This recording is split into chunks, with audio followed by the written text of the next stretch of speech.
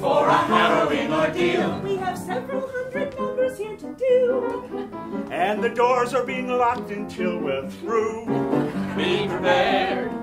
If you harbor any qualms, be prepared for this foolery of Tom's. Our theatrical integrity we totally disgrace. And we think that you will find it all in questionable taste. Every possible expense was clearly spared. Be prepared. Pulse will be quickening with each drop of strychnine we feed to a pigeon. It just takes a smidgen to poison a pigeon in the park. If you visit American City, you will find it very pretty. Just two things of which you must beware. Don't drink the water And don't breathe the air.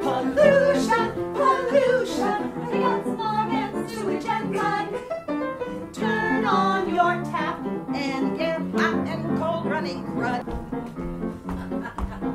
So long, Mom. I'm off to drop the bomb. So don't wait up for me.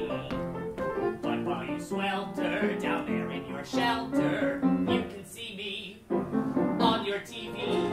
I want to go back to that Southland, that y'all and shut my mouth land.